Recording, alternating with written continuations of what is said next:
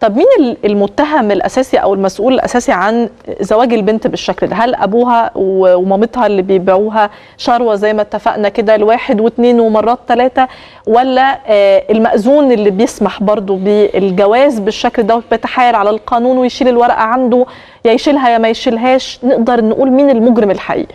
الحقيقة كلنا مذنبون وكلنا متحملين مسؤولية وكل بقدر مسؤوليته تبدأ بالأسرة الأب اللي هو المسؤول عن البنت اللي هي أمانة في رقبته اللي هو مسؤول عن الحفاظ عليها قبل كل الناس ملزم يحافظ عليها.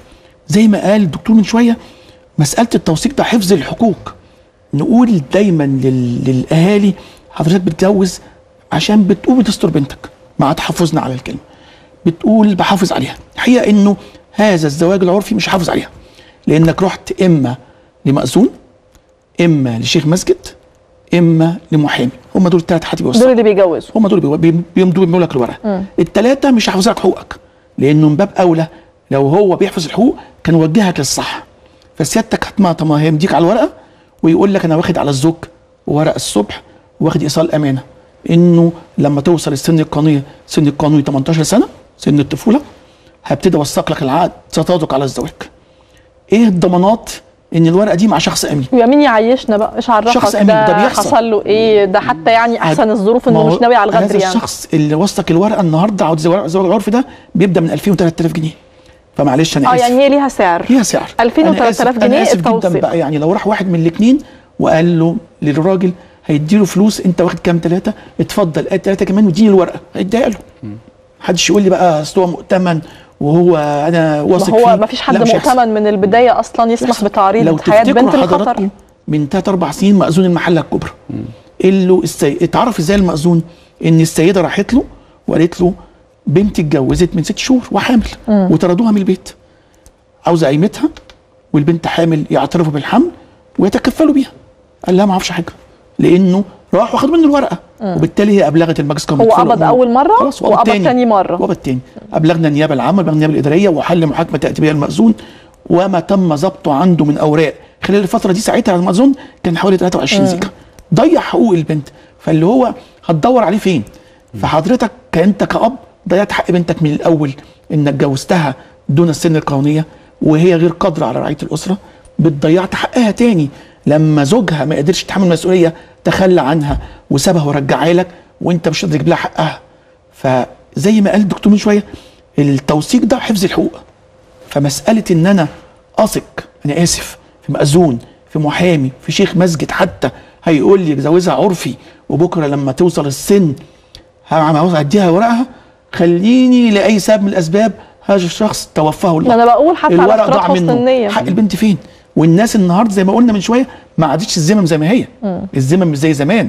إن أنا أبقى صاحب ان أنا مؤتمن على حق أجي أقول لحضرتك آه أنا بقول لحضرتك بتجي لنا السيدة تقول لي البنت ولدت خد فلوسها وخد ذهبها وخد القايمة مش عارفة بعد كده في الشارع. وأحيانا من غير قايمة أو تدور عليه بقى ومعهاش ورقة للمولود عاوزة شهادة ميلاد.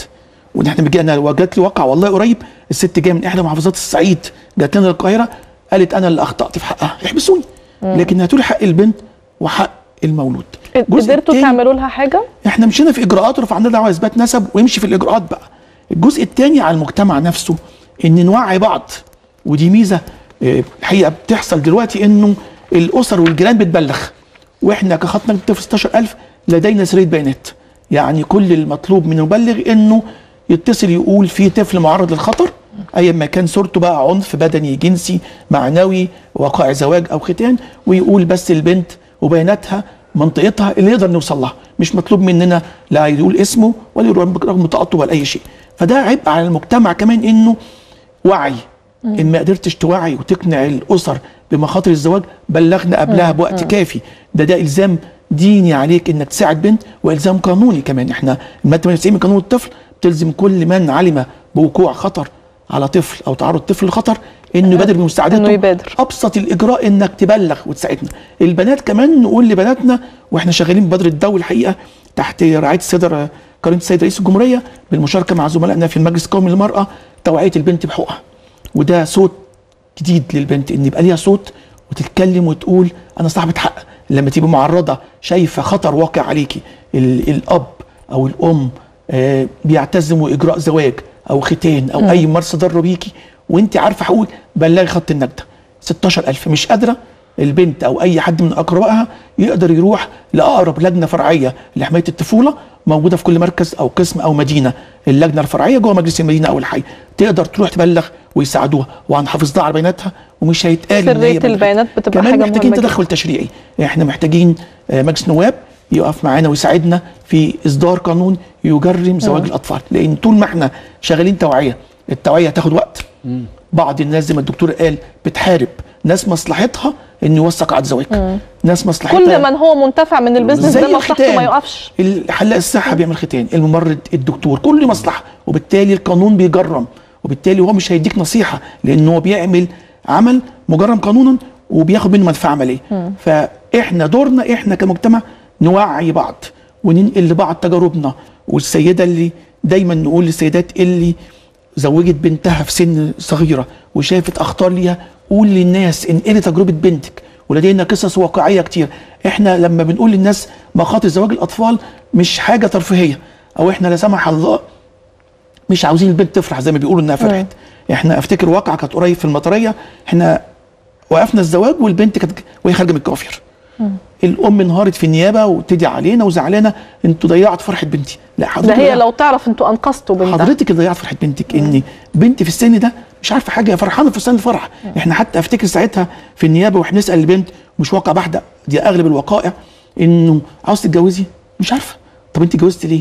لابسة فستان أبيض. هي مش فاهمة يعني إيه ده. جواز أصلا. هي بالنسبة لها أنا لبست. فستان وودوني كوافير. إحنا في الصعيد زمايلنا وللأسف خلينا أقول برضو عتاب على أهلنا في الصعيد. أغلب بلاغات الصعيد الزواج بتيجي من الصعيد.